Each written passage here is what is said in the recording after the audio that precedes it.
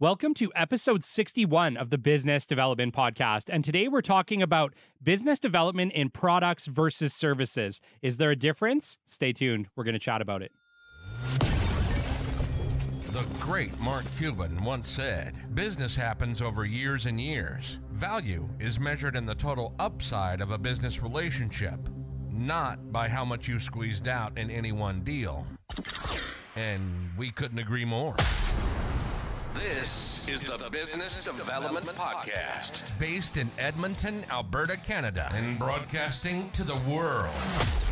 You'll get expert business development advice, tips, and experiences, and you'll hear interviews with business owners, CEOs, and business development reps. You'll get actionable advice on how to grow business. Brought to you by Capital Business Development, capitalbd.ca. Let's do it. Welcome to the Business Development Podcast. And now your expert host, Kelly Kennedy. Hello, welcome to episode 61 of the Business Development Podcast. Wow. I don't know. It, it just never ceases to amaze me that we're just clipping along in this show, that we are literally over 60 episodes. I remember when I first started this show just thinking, man, I wonder how many of these I could even do or how long is this show even going to last or will people even like it? And we know the answer to all of these now, but at the time it seemed it seemed like a long shot, but I am I am pleased to say and happy to say that we are still trucking along here at the Business Development Podcast that I intend to have many many many more episodes, more amazing guests and I'm just so thankful for each and every one of you who is listen uh, who is listening to this show. Whether you just started listening or whether you've been listening since episode one, I appreciate you immensely. I hope that I'm bringing a lot of value to both yourself personally and to your career.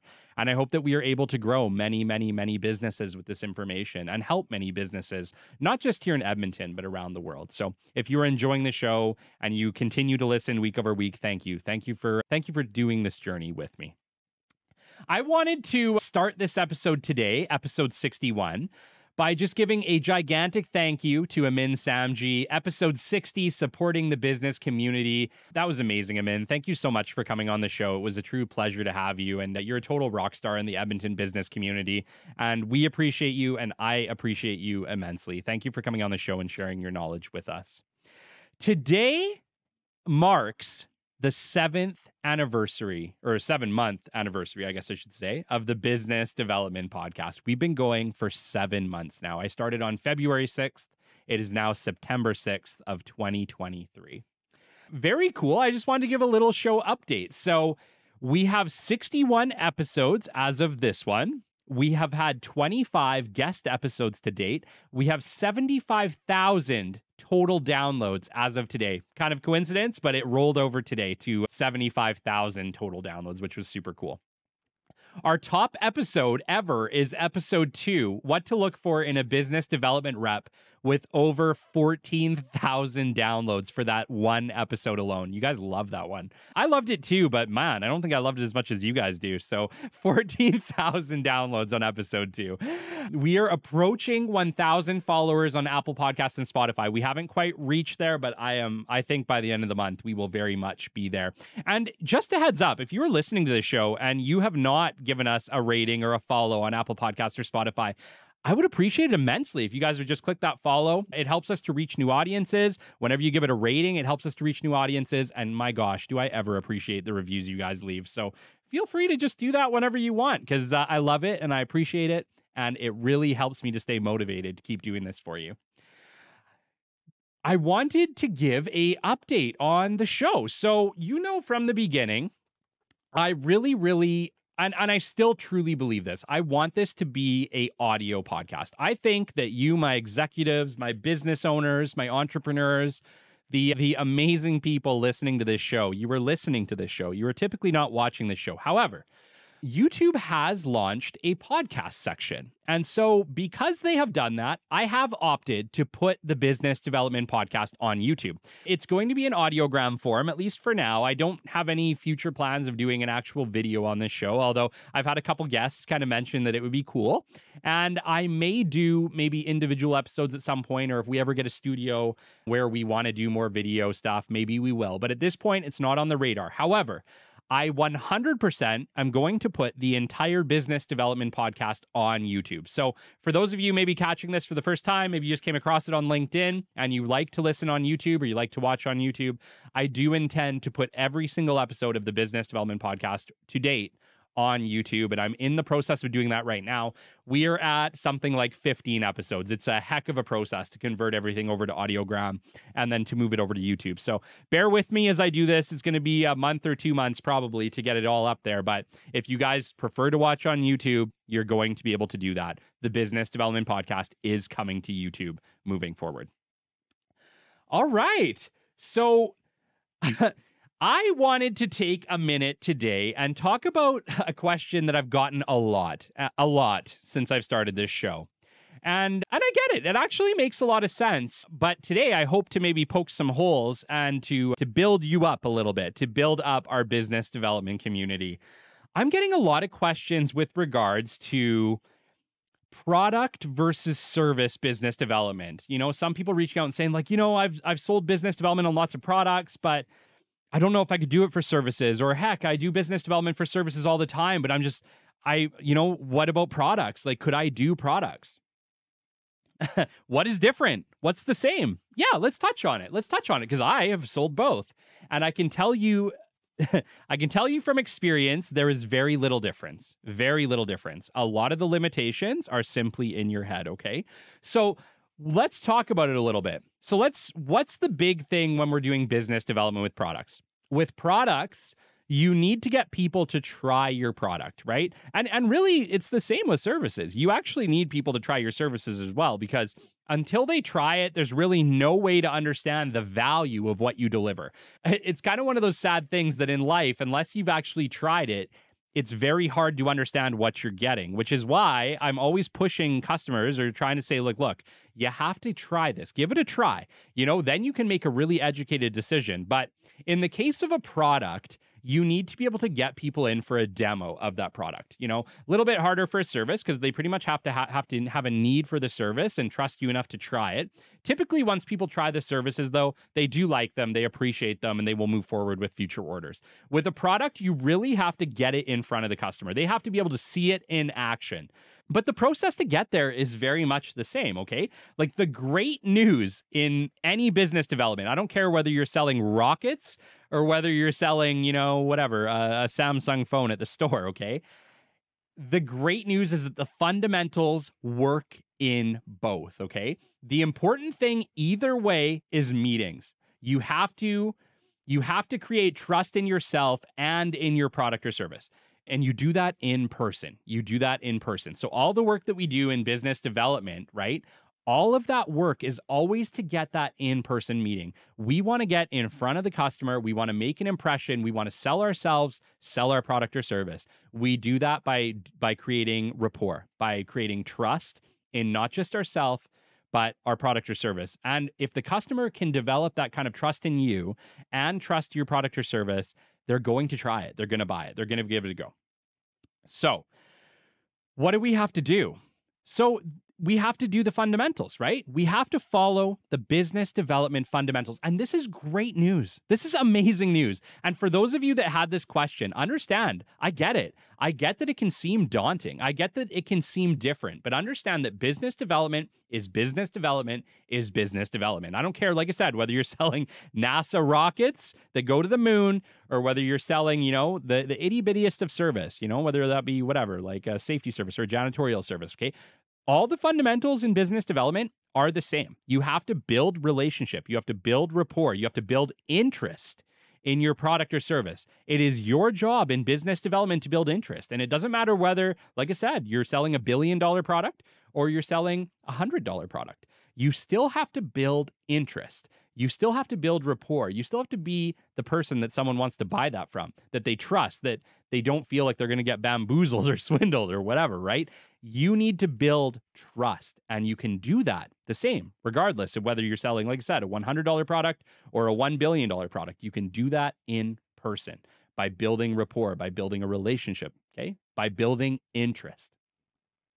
So, what do we have to do? We have to identify the industries who will need that product or service, right? Bare bones, it's fundamentals. What do we need to do? We got to figure out who needs it. Who needs it? And one of the things that we end up getting kind of bottlenecked into is that there's a wide range of industry that probably needs your product or service. Just because you make a robot for whatever, for welding, doesn't mean that that welding robot couldn't have other applications. Maybe it can clean things, maybe it can do other things. Typically, these platforms have multiple use applications across many industries. So don't bottleneck yourself into one industry. Remember, there's multiple industries available for you. Always try to widen the net, widen that net of available opportunities because the more you can widen that net, the more the more opportunity you're frankly going to have. Okay. So we have to identify the industries who will need our product and service. Then we have to create target lists, right? This is, I know that this gets bypassed and a lot of you don't do it. Trust me, sit down. You don't have to necessarily follow the target list. The target list can be beneficial just for you as an exercise to try to identify companies. I can't tell you how many times that I've sat down with a customer, figured out the ident- the the sector that we want to work in, sat down and did the target list and came up with companies that I could have never thought of. I would have never thought of it. It just part of the process of creating that target list, it opens up avenues, it opens up companies that you might have missed. And so sitting down and creating that target list, even though it can seem like, oh, do I really need to create another target list? Yes, yes, you do. I know. I know it can seem like a tedious, daunting task, but trust me, sitting down and creating that target list, separating it out by industries, right? And really breaking it down to different companies, it's going to open doors that you wouldn't have thought of. It's going to give opportunities that you may not have thought of. And those opportunities could be worth millions of dollars to you or your employer. So think about it. Just spend some time, create that target list, okay? Once we've created that target list, then we need to identify the right contacts at these companies, right? So then we need to take some more time. We need to identify who's buying our product or service. It's not always SCM, right? It's not always the supply chain. They don't always get the message as to what is required. Typically, the supply chain is the last to know that there's a problem or a need in a company. Why? Because it takes multiple levels of management to bump it to a stage where someone reaches out to supply chain and says, "Hey, put out an RFP for this because we're really we're, we're really struggling to do it." Typically, supply chain is the last to know. And so if you sell services, this is very specific. If you sell manpower services or services to an industry, you need to reach out to the people directly buying that at the company. That could be an operations director, right? That could be that could be whatever, the president. That could be high-level management of some level, but you need to identify who that is. Don't just assume that supply chain is the right path. Supply chain is a path, yes, and it can be right a lot of the time. But remember, they are usually the last to know. They are usually the last to know. And what that can mean for you is, is that if you're not the first, second, third call for that, for that director, for that operations manager, for whoever might directly buy that service typically, yeah, you're probably not getting the call. So don't just rely on getting on the vendor list. Don't just rely on getting on supply chain. Reach out to these people, introduce your company, introduce your product or service, become real to them, become known. Your problem is you are unknown. And I don't care whether you're selling, like I said, rockets or whether you're selling $100 services, you are unknown. And just because, you know, just because you've reached out and you've gotten on a vendor list, that does not guarantee anything. That's literally a step one in a multi step process that you still need to take. Becoming a vendor is usually still required. So, whatever, great, start there if you want. But understand that's probably not the person you need to build a relationship with. The person you need to build a relationship with is the director, the operations manager, the president, the owner, whoever is going to be buying your service on a regular basis. That's who you need to find. And so that can take some digging, but it is your job in business development to be a little detective, and you can do it. So do the detective work, make some phone calls, figure out who's buying your product or service at various companies, figure out the position. It may be the operations director at multiple locations. Great. That made your job a lot easier when it comes time to find new contacts. But understand you still have to do the detective work to figure out who is going to buy your product or service. Because if you were just knocking the doors of SCMs, you're going to be waiting a damn long time for an order to come through. Okay. And guess what? You and me both know you don't have long to wait. You can't be waiting forever. You need to identify the right people and you need to do it quickly. Okay. All right once you've once you've identified them great now we need to we need to find that contact information right so check them add them on linkedin make a digital introduction phone the main office see if you can get transferred to them find their contact information you need to get a hold of them in person you need to get them on the phone because if you can't get them on the phone or get them on a direct email and i mean a email that does not get filtered bypassed does not go to their assistant it goes to them this takes detective work again. We need to do that detective work, and you can do it. It takes a little bit of legwork, but you can find their contact information. We live in an amazing, an amazing age of information. We really do. The internet has amazing abilities to find people. You don't need to buy their target list. Trust me, you can find their information you can hunt it down. And sometimes it can mean literally you're just reaching out to other people at the organization, just asking, hey, do you got the contact for them? Or what's the best email to get this person at? It works. There's roundabout ways to get the information that you need and still do it in an ethical, legal, and fine way, right? That they're not going to be like, where do you get my information from? You can be like, yeah, I got it from John because I, I have this and I know you're going to be interested in it. So I just want to make an introduction. Okay. So we can get there.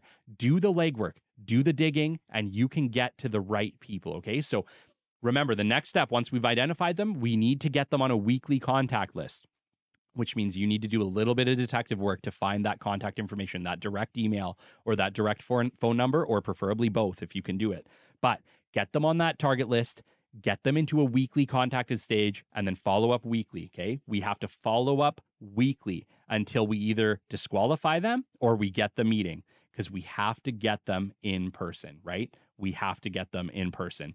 So, What's a good way to just make that initial introduction? You guys know I talk about this all the time. The soft digital introduction is something that we have today that works absolutely amazing. And I like to do this on LinkedIn. So, what I'll typically do is I'll, I'll add the contact on LinkedIn and I will just do a very brief introduction as to who I am. And no, not my company, who I am. Who I am comes first. Who you are comes first. They want to connect with you as a person, not just your company, you as a person. Start every introduction with saying, Hey, my name's Kate. Hey, my name's John. I am a business development lead or I'm the owner or of this company and it's an, it's an absolute pleasure to connect with you. Connect as a person. And and then remember when you're introducing this digital introduction, very short and sweet, okay? Just a quick like I work I, you know, I own this company or I work with this company. We do this. Would love to chat further with it. Once again, it's great for the connect. That's it. Just short and sweet you know, attach your brochure, let them follow up with it on their time. But remember, this these digital introductions, they serve two purposes. They introduce you as a human, as a person, not a robot, not an AI, a person. And they introduce your company. And one of the cool things about this is this is just the first step, but what it does is it just gave you a soft introduction. So before you were going in completely cold, if you were to make that call and call, you know, whatever, and, and you say, hey, it's Kate with XYZ Company, and I'm just looking to make connection, they're going to be like, who? Kate with who? Now, when you make that cold call, when you make that initial introduction, even subconsciously, they've already met you. You've already had a brief introduction. They already have a good idea of who you are and what you do. And even if they don't reply to your message, they probably opened the link. They probably checked out your brochure.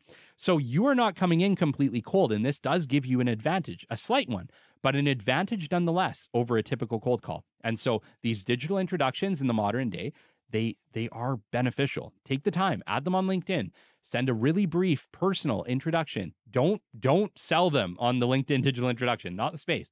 It's just a space to introduce yourself, introduce your company, maybe attach a brochure and keep it very brief, very brief. But if you do this right, it sets you up for when you do make that cold call, okay? It's going to give you an advantage that other people won't have.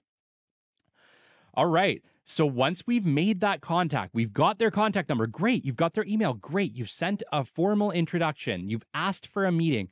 Do this weekly, right? Remember, like most people give up after the first try. Yeah, it's like it's a stupid statistic. Like 80% of business development people give up after the first phone call. In my mind, that's not business development people. It's not. It's not. You need to you need to follow up weekly and consistently until you either disqualify them, and this could be you saying I've reached out whatever 15 times and I'm no longer willing to keep doing this. That's fine. That's a disqualification. Or they say, hey, you know what, Kate, sorry, we don't need these services right now, but we'd love to chat in the future. Great. Future opportunity. Kick them into future opportunity and keep going. But you need to get disqualified. Your goal is to disqualify as many of these people as possible because guess what? The more you disqualify, the less you have to follow up on bad bad chances. And the more opportunity you're going to put inside of your your inbox. So what you need to do is follow up with these people weekly until either they get disqualified or you book that face-to-face meeting, right? We have to ask for the meeting. Okay. I, I can't tell you how many times this happens is that I've seen where people will make a phone call, they'll get a connect, they'll make an introduction to the company, and they'll say, "Okay, great, it was nice chatting with you. Consider us for the future. Bye." right? That's it's not going to work. It's not going to work. Why? Because they they're buying you. They're buying somebody they trust. They're buying a relationship, okay? And so when you're selling a product or service, it's very important that you get them in person. So we always need to make sure that all of our interactions, everything, the digital introduction, the weekly follow-up calls, the phone calls, the the conversations they're all leading to a face-to-face meeting. And i don't yeah i get it. We could be teams could be teams okay? Uh, i still i still see the value in it. But ultimately wherever possible face-to-face we need to get them in person. We need to get them out for lunch. We need to have a a, a, a great connection conversation with people and we do that in person. So always be moving them to that to that in-person meeting and make sure that you are asking for it people will not give you what you don't ask for. This is the truth. And you know, like maybe once in a blue moon, the person will say, Yeah, this sounds interesting. Let's get together for a meeting. But trust me, that's like, that is the blue moon. That is not the typical thing. So if you if you need to get in front of these people, you need to ask. You need to be brave, right? Believe in yourself, be brave, ask for the meeting whenever possible. Ask for that meeting and get them in person, okay? And then remember, eh, you know, maybe it is that face to face meeting and you're selling a product or service. Okay. Now, not so much with the service, but with the product, now is that critical time. So when you're having that that meeting, let's say that it's a Teams meeting and you're selling whatever, robots, or you're selling a widget of some type, okay?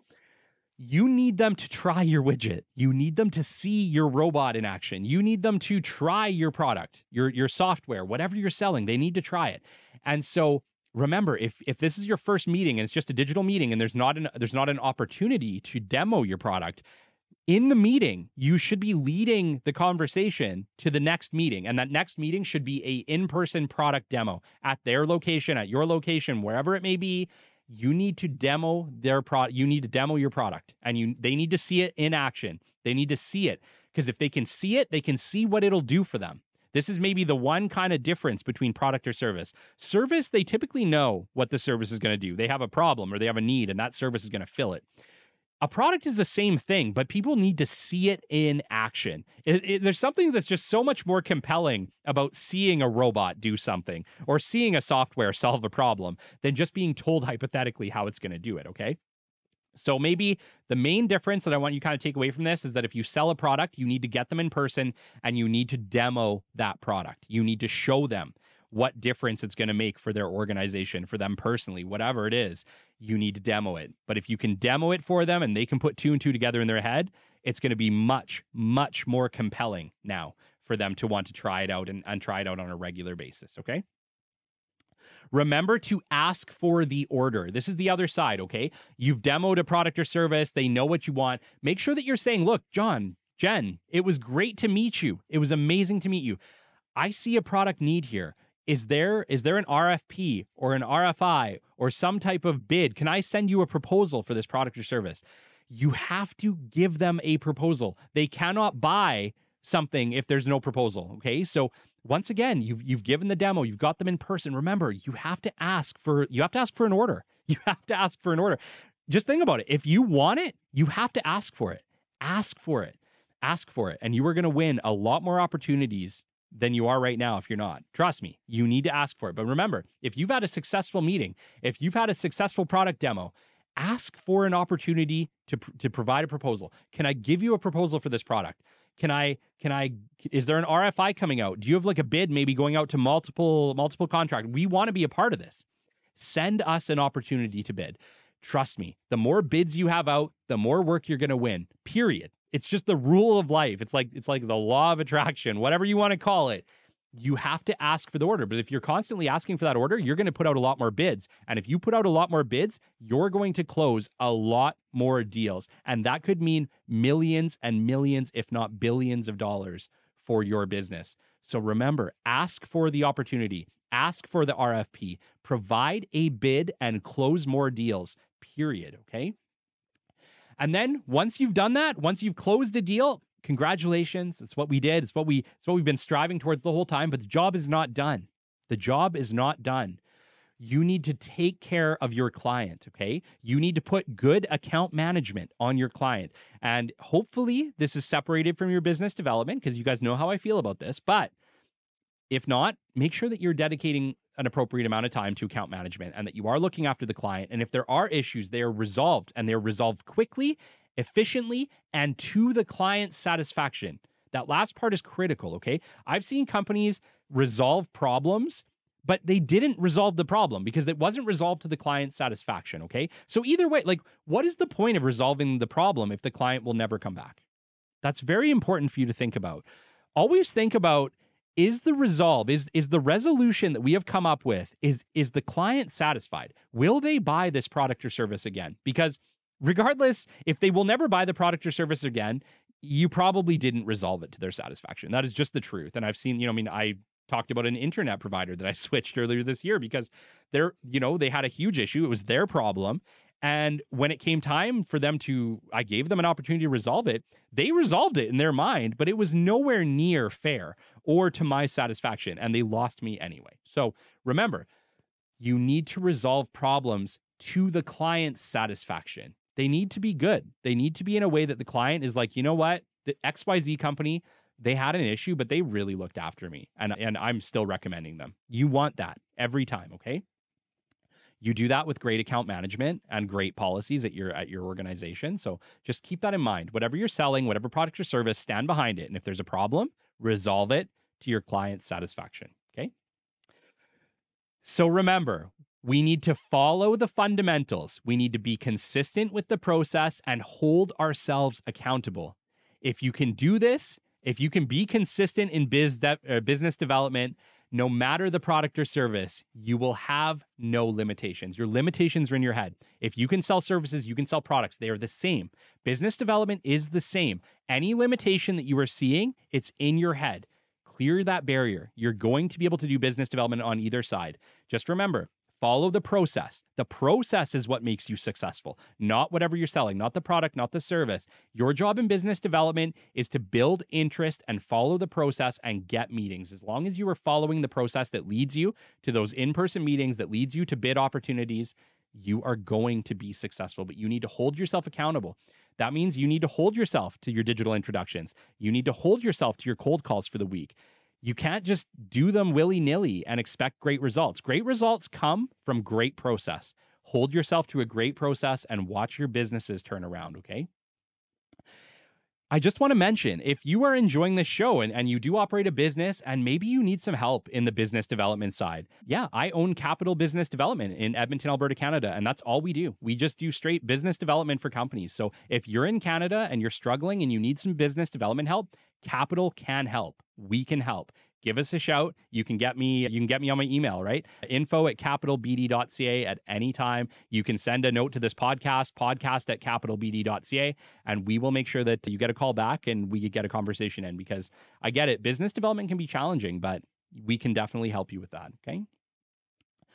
All right. So just wanted to you know what? I wanted to end this a little bit differently because we've been getting some really, really, really awesome, awesome feedback lately on the show. And some of these reviews that you guys are leaving, I know it's a little cheeky to read reviews, but some of you guys are leaving just the kindest reviews. And I just wanted to mention a couple that we got this week. So, um, a seminar in every episode I stumbled across this podcast a few months ago in search of an inside scoop on business development, and I was blown away by the candor and insight provided. I've since gone back to episode one and I'm working my way back through them all while driving, walking the dog, etc. Save money on tuition and soak soak up the tried and true tactics to hit the ground running. Thank you, Kelly. No, no, thank you. That was amazing. And really, I couldn't do these shows without you. Um, another fun one we got was finally a fun show on BD.